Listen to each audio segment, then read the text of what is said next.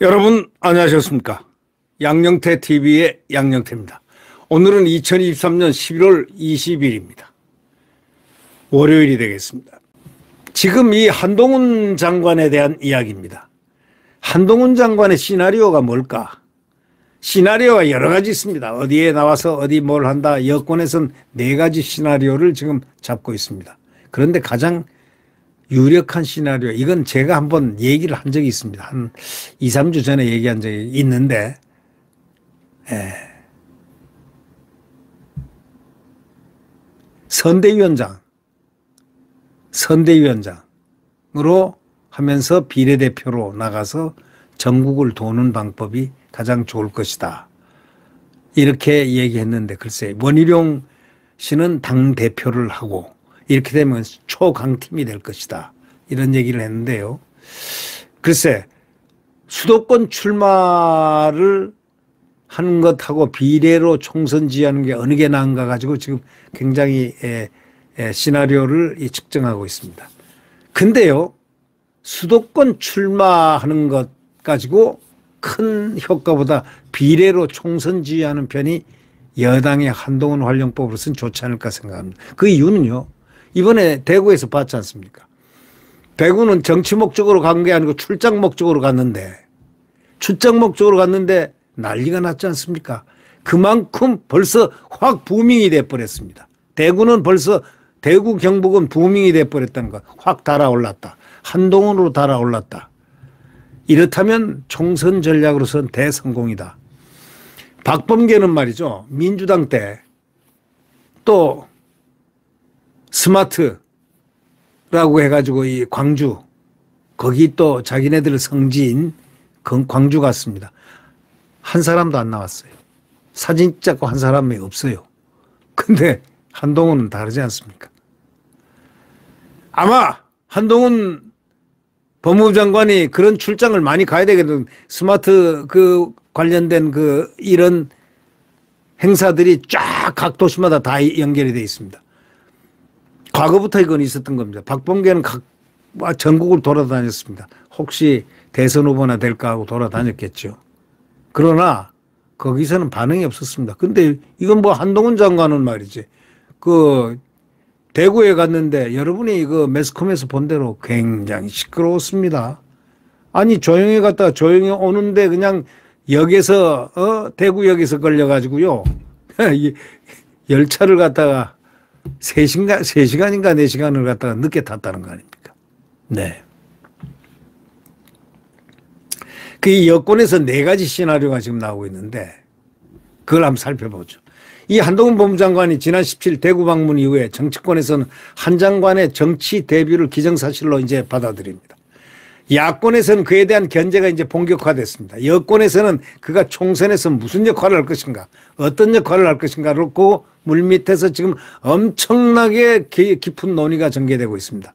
인터넷 일부에서는 일종의 팬덤 초기 현상까지 벌어지고 있습니다. 여권에서는 우선 한 장관에게 내년 총선 승부처인 수도권 선거를 이끌도록 한다는 말이 나옵니다. 국민의힘 한 의원은 한 의원은 전체 지역구 의석 절반에 달하는 수도권 119석 중에 현재 국민의힘은 17석인데 수도권에서 국민의힘이 얼마나 의석을 늘리냐에 따라서 총선 승부가 갈린다. 지금 벌써 이 파란불이 켜진 거는 선수친 그거 아닙니까? 김포구 서울특별시 편입 메가시티 바로 여기서 선수를 쳐서 여기서 뒤통수 맞은 민주당이 휘청거리고 있습니다. 지난달 17포인트 차로 참패한 서울 강처 강서구청장 선거 이후에 여권 내 수도권 위기로는 그 어느 때보다 커졌지만 사실은 이거를 위해서 상징성 있는 서울 종로 이런 데서 전략 지역에서 한 장관 출마시키면 어떨까라는 그것도 처음엔 돌았습니다만 지금 그게 아닙니다. 이 그냥 물론 시나리오입니다. 이거는 상징성이 있는 자객 공천도 거론됩니다. 한 장관 특유의 대야 투쟁 능력을 최대한 활용하는 방안. 최전선에서 싸운 한 장관의 전투력을 총선까지 그대로 이어가겠다. 이런 또 시나리오. 이럴 경우에 민주당에서는 선명성이 강한 정청래가 안민석이가 지역구의 한 장관을 공천해서 전체 판의 분위기를 바꾸는 방안이 거론됩니다.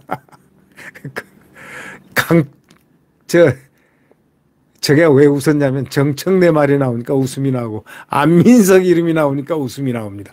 그 두 사람, 그 두 사람마다, 그, 그 두 사람은 코미디언입니까? 국회의원입니까? 한 장관을 비례대표 순번에 아까 배치해가지고 지역선거 부담을 덜고 전국 선거를 지휘하게 한다는 구상. 뭐 이게 상당히 에, 유능하지 않을까, 유익하지 않을까. 그 유능한 능력을 발휘할 수 있는 기회는 바로 한 장관의 능력을 100%뺄 수 있는 것은 바로 전국 선거를 지휘하게 해야 될 것이 아닌가. 아마 한동훈 보러 몰리는 인파만 하더라도 아마 그 대단할 걸로 예상이 됩니다. 선거 기간 한 장관을 특정 직구에 묶어두지 않고 선거대책본부장 같은 직책을 맡겨가지고 총선 후보들의 선거운동을 도우면서 전국 선거를 지휘하도록 하는 것. 이것은 누군가 해야 됩니다. 원희룡 아니면 한동훈 둘이가 둘 중에 한 분이 해야 됩니다. 원희룡은 당대표, 한 사람은 그럼 그렇게 되면 당대표가 돼야 됩니다. 당대표. 한 사람은 선대위원장. 이런 체제로 나가야 되지 않겠느냐라는 이야기가 지금 많이 돌고 있습니다. 국민의힘 총선의 간판으로는 한 장관의 전국적 지명도를 최대한 활용하는 방법, 한 장관이 지역구 대신에 비례대표로 가닥이 잡히고 지난 총선 때 각종 위성정당을 양산한 현행 선거법대로 내년 총선 역시 치러진다면 현재 거론되는 조추송 신당 등에 대한 한 장관이 맞붙을 맞불을 놓을 가능성도 있습니다. 한 장관이 나가면 조추송, 조국 추미애 송영길은 완전히 그냥 그냥 쫙 미꾸라지가 쫙 뻗는 것처럼 낙지가 됩니다. 예. 총선에 나가지 않고 정부에 남아 대선을 준비할 수 있다는 전망도 나오죠. 야권 관계자는 한 장관이 돋보이는 것은 거대 야당에 맞서 홀로 싸웠기 때문이다. 이렇게 말합니다. 한 장관이 국회의원이 되는 순간 300명 중에 한 명으로 위상이 떨어질 수밖에 없다. 그렇지가 않죠.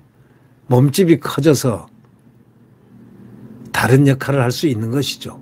국민의힘 입장에서도 여권의 유력 대선 주자로 떠오른 한 장관을 일찌감치 소모시킬 필요가 있겠느냐 이렇게 얘기합니다. 또 정치권 관계자는 지난 대선에 윤석열, 이재명 후보 모두 국회의원 경험이 없었다면서 한 장관이 총선에 나가는 대신에 내각이 남아 총리 등을 맡으면서 대선 직행 코스를 밟을 수도 있, 있을 것이다 이렇게 얘기하고 있습니다. 대선은 틀림없이 한 장관과 원희룡의 아주 거기에 덧붙인다면 홍준표? 뭐 이 정도 아가 될 걸로 예측은 할 수 있겠지만 지금 어, 대선 직행을 위해서 한 장관이 총선에 나가는 대신 내각에 남아서 총리 등을 맡는다 이거는 조금 불가능 한 것보다 별로 효과가 없는 것입니다. 이거는. 한 장관의 대구행 이후에 여야는 저마다 득실 따져보면서 반응을 하는데 총선 대구에 출마해서 영남 기반 신당을 창당하겠다는 이준석이 완전히 한동훈 장관이 그 대구에 내려갔다 오는 순간 이준석이가 꺼져버렸습니다. 죽었습니다. 이준석은 실제 아무것도 아니에요. 완전히 뻥카였다고 얘기하지 않습니까? 걔는 뻥카입니다. 지금 온라인으로 뭐 2만 됐다, 3만 됐다 하는데 그거 민주당이 민주당 지지자들이 전부 다 일로 온 겁니다. 그 인원수를 뻥카를 알아차린 거는 그가 역선택을 했기 때문에 빨리 알아차렸습니다. 많은 정치평론가들이 뻥카로 규정했습니다. 어저께. 그건 뭐냐? 100% 뻥카다 이겁니다. 아, 그렇게 규정을 합니다. 왜? 온라인이니까. 상대당이 없는 거니까 막 들어간다 이거 막 들어가서 이준석 해가지고 이 국민의힘을 분열시키는데 아주 좋은 제목이 되고 당을 흔들어대는데 국민의힘을 흔들어대는데 예, 이- 이준석이가 흔들어대는데 좋은 소재가 되니까 계속 민주당 지지자들은 이 지금 온라인으로 지지를 표하고 있었죠. 이자가 온라인으로 해가지고 그렇게 해가지고 당대표 들어와 가지고요. 당을 망쳐놨습니다. 그래서 당을 지금 겨우 복, 복원을 시켜놨습니다. 그런데 이자한테 예? 유승민이한테 이자한테 그저 어? 혁신한다고 뭘 혁신하려는 건지 모르지만 유승민을 애국자라고 부르질 않나 이 인요한 왜 그런지 이분의 사고가 뭔지를 모르겠습니다. 김대중 정신을 부르짖고 김대중을 가장 존경한다고 국립현충원보다 망월동을 먼저 가고 그래서 어떻게 하겠다는 겁니까? 참으로 이해 안 되는 여러 가지를 보면서 자 결국 이제 이 전사들이 나타나게 돼 있습니다. 이 원희룡 전사 나타나면 또 그 파급력이 돌파력이 어마어마 예상을 못할 정도일 거고 한동훈 이미 어느 정도 예상치가 눈에 보이고 자 이렇게 되면은 대한민국 국민의힘 200석 자신합니다. 가능합니다. 절대로 가능합니다.